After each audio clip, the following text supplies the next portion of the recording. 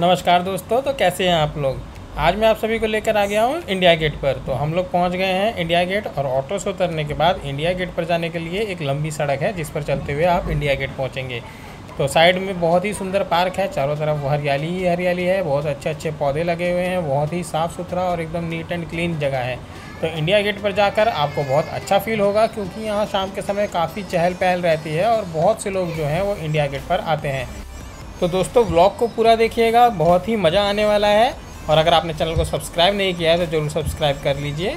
तो दोस्तों, हम लोग पहुँच गए हैं इंडिया गेट के पास। जैसा कि आप लोग देख पा रहे होंगे, इंडिया गेट अभी हमसे थोड़ा दूर है, पर हमें दिखाई देने लगा है। और हम लोग बढ़ रहे हैं इंडिया गेट की तरफ़। और हम लोगों ने रास्ते में कुछ रील्स शूट करी, कुछ वीडियो शूट करे फ़ोटो शूट करे। फ़ोटो खिंचाने के लिए ये जगह बहुत ही अच्छी है। और हम लोग अब पहुँच चुके हैं इंडिया गेट के पास। तो इंडिया गेट की तरफ़ बढ़ रहे हैं।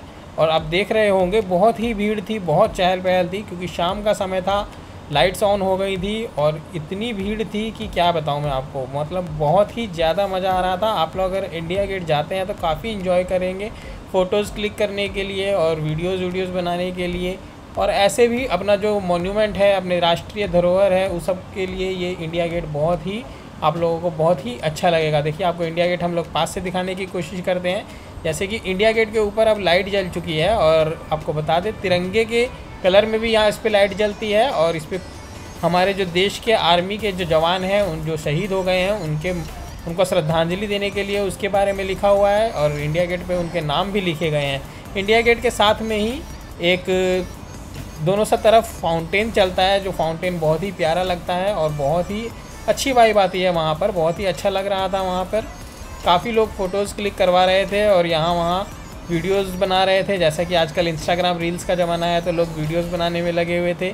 और इंडिया यहाँ पे जो लोकेशन है वो बहुत ही अच्छा आता है और बैकग्राउंड जो है वो बहुत ही अच्छा है, बहुत ही प्यारा है। इसलिए यहाँ पर वीडियोज़ और फ़ोटोज़ शूट करने के लिए काफ़ी भीड़ रहती है और लोग जो थे वो बहुत ही एक्साइटेड भी लग रहे थे। हम लोग भी फाउंटेन के पास गए और काफ़ी मस्ती की हमने। जैसा कि आप देख पा रहे हैं हमारी साली साहिबा मस्ती करती हुई।